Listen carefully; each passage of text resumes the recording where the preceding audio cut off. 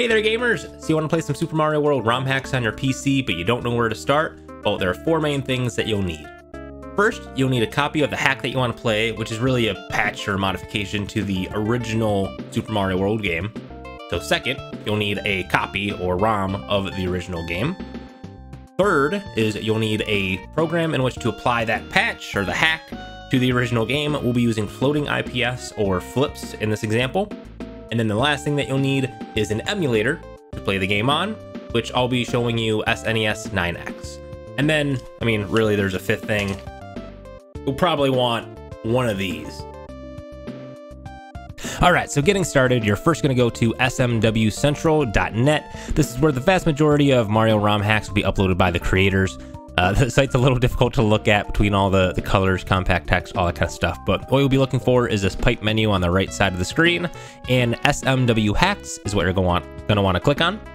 So here you'll be able to scroll through and see all the SMW hacks um, that are available. You'll see the name. Uh, what's nice to see is how long it is, what type of uh, hack it is. So a Kaizo Light, Standard Hard, who made the game, and then what the rating is between um, all the different people that have played it and decided to rate it. Trick I like to use is hitting this gallery view button at the top. Um, just gives you a screenshot, makes it a little bit easier to look at, but it's up to you. And then if there's a specific hack that you're looking for, filter results is what you'll click. And then you can, again, search by type if there's maybe you just want to look at all the Kaizo lights you're trying to get into Kaizo. Um, or if you have a name in particular. For this one, I like Quickie World. So we're going to use that as an example. So be looking for the original Quickie World. So you can either hit download over on the right side of the screen. You can click on it, see a little bit more details about the game, and then there will be a download button here as well. So we'll have that downloaded and we'll take it from there. All right, so we downloaded the hack that we want, but before we leave SMW Central, there's a couple other things we want to do. So we'll scroll back up to the top and we're going to want to click on SMW Hacks again. And then we're going to look near the top and it's going to have in green floating IPS. So this program is going to allow us to patch the original copy of Super Mario World um, with the ROM hack. So what you're going to want to do is scroll down and hit download and you'll get a copy of Flips. Okay, so now that we have Flips, next thing we're going to want to do is click on FAQ. Um, and then getting started on the left side of the screen. There's a whole bunch of other tips and tricks over on this if you want to take some time to look through it. Um, but this will give you some very basic, frequently asked questions. And what we're going to be looking for is the emulators um, section. And then if you scroll down to the bottom, there'll be a spot that says, what is an emulator? It kind of explains it. Basically, it's a system that lets you play the games. Um, and you'll click on SNES 9X. Be brought to this website. You can click on whichever one you want and then find it. And we are going to click on if you want the 64-bit or the 32-bit at the bottom. We'll click on it and download that. All right, so we're gonna go back real quick to the last page. Oh, two pages back. And then the last thing that you may or may not, depending on the ROM itself, is 7-zip or some type of program in which to uh, decompress a file. So you can click on that 7-zip. Again, if you have 64-bit or 32-bit, click on the one and download the .e .exe. And again, that's only if the ROM that you get specifically is a .zip, RAR, or 7z file. All right, so now the last thing that you need is a ROM of the original Super Mario World.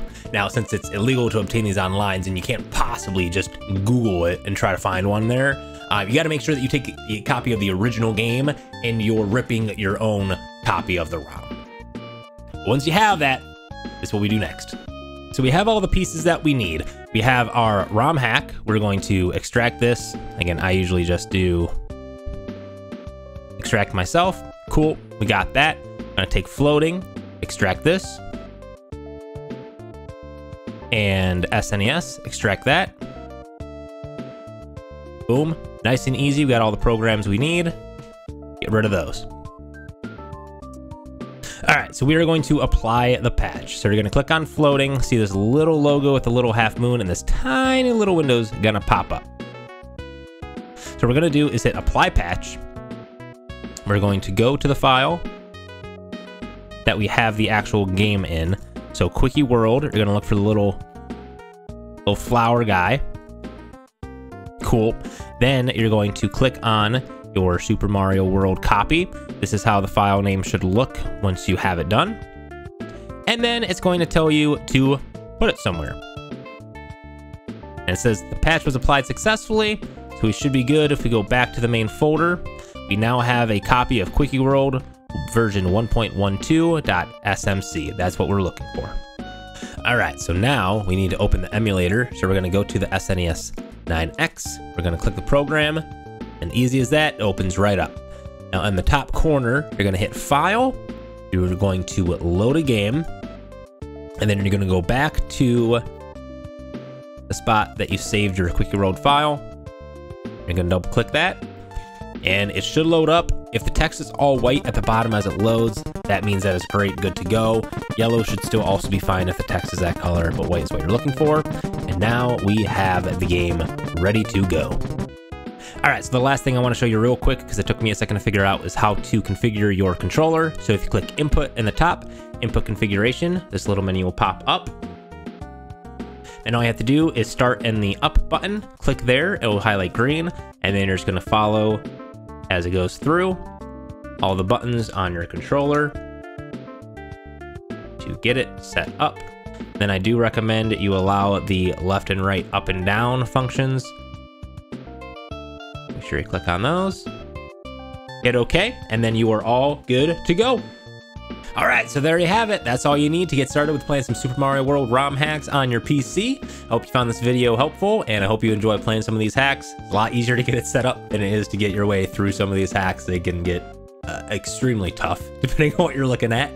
But if this video did help you and you liked it, please consider giving it a like. Smashing that subscribe button will be super helpful too. But until next time, we'll see you around.